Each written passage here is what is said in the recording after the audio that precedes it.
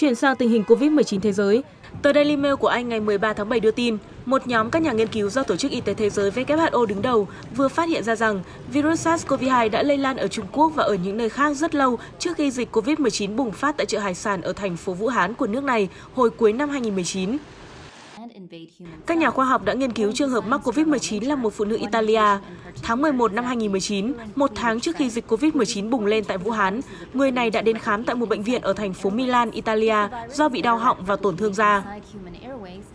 Theo tạp chí Dermatology của Anh, hơn 6 tháng sau đó, người phụ nữ trên đã được xác nhận có những dấu hiệu nhiễm virus SARS-CoV-2 sau khi các bác sĩ của bệnh viện này tiến hành hai xét nghiệm đối với mẫu da của bệnh nhân này.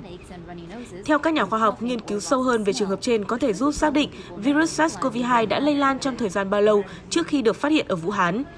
Ngoài trường hợp người phụ nữ nêu trên, nhóm nhà khoa học của WHO cũng khuyến nghị nên nghiên cứu về trường hợp khác bị nghi ngờ mắc COVID-19 ở các quốc gia khác trước thời điểm trường hợp ca mắc COVID-19 đầu tiên được xác nhận ở Vũ Hán.